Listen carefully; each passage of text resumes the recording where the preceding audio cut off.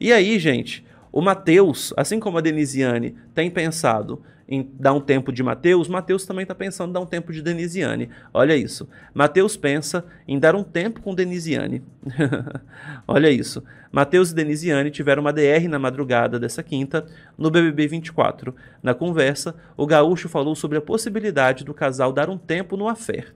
Na festa do líder Lucas Henrique, Anne afirmou para Alane que não consegue ser recíproca com Mateus. Aspas, parece que eu não atinjo uma expectativa nunca. Sou assim, amiga. Não consigo ser igual a ele. Olha isso. Mais tarde, Mateus chamou a Anne para conversar e a Cícer desabafou. Já tenho tempo que eu estou angustiada porque acho que não estou conseguindo ser recíproca com aquilo que você me dá. Você é uma pessoa carinhosa, que elogia, é cativante.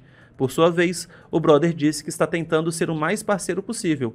Eu já notei que se essa situação acontece de novo e fica uma coisa chata, quem vai chegar para você e dizer: Olha, vamos dar uma segurada, vai ser eu.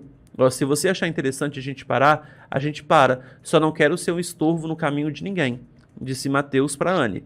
A fisioterapeuta Anne, então, revelou estar confusa quanto aos seus sentimentos. Aqui tudo é muito intenso, e por eu estar habitolada desde o início que eu não quero casal, quando acontece esse tipo de coisa que desvirtua no meu caminho, eu meio que duvido das coisas. Volta aquela dúvida inicial.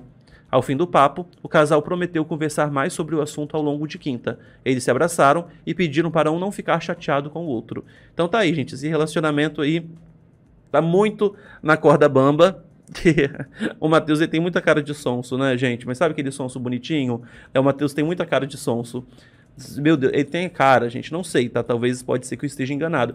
Mas se ele pegar uma mulher abusiva num relacionamento, que ele vai comer na mão dessa mulher, tô falando do caso da Denisiane não, tá? Mas a cara que ele tem, sabe, de que ele que ele come na mão de uma mulher se a mulher realmente quiser ser tóxica e escrota com ele, tá?